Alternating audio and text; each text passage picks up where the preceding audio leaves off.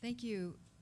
I, uh, I was 20, 21. Uh, let me tell you briefly. I came out when I was underage, and at that time, of course, you had to go to bars. There, we had nothing else. But I looked 12, and I had no fake ID. So they, they literally, they literally threw me down the stairs of Littlemore and all these. So I eventually said, I'm gonna go to the country and you know be natural, and I hate this concrete jungle, and that was all good, you know.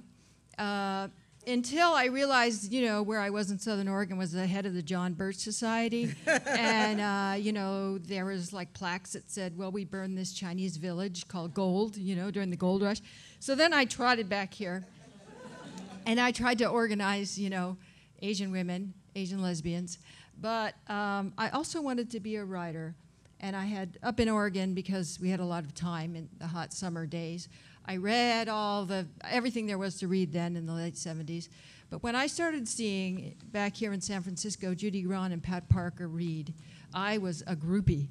I, you know, I, you know, I, I saw them do Movement in Black like six times, you know, every, every time they were in the Bay Area. And uh, I just, it was such an inspiration because Pat was, I mean, you could read, you know, Ntozake Shange or, or Audre Lorde, but you could see Pat live. And she was the first out there visible lesbian of color writer. So she was a huge inspiration.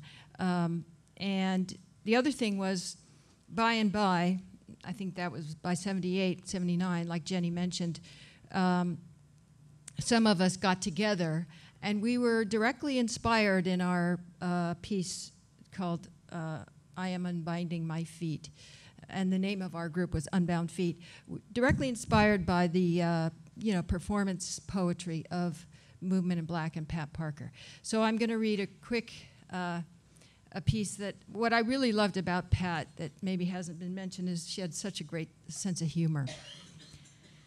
Um, so this is called today the what liberation front. I just mm-hmm. I just found this. Today I had a talk with my dog he called me a racist, chauvinist person. Told me he didn't like the way I kept trying to change him. Dogs, he said, do not shit in toilets. Dogs like to shit outside, and he didn't appreciate being told to shit in the gutter. Just because I don't like the smell of his shit, he informed me that the fish weren't so hot about my shit either. and property. He wanted to know why people expected dogs to protect their capitalist interest. He never watches television or plays records, and how come I put tags on him?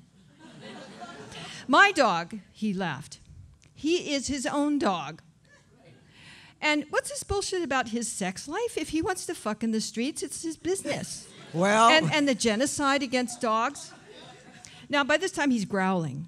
And I just said, he didn't have to get nasty. I was willing to study the problem.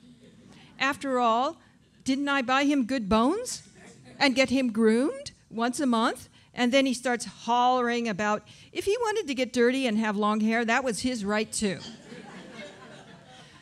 And another thing he said if he wants to sit, he'll sit.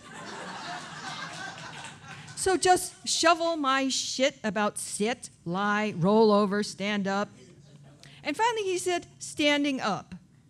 The next time I patted him on the head and called him a good boy, he was going to lift his leg. With that, he got up and left the house saying something about a consciousness raising meeting. Thank you. We love you, Pat.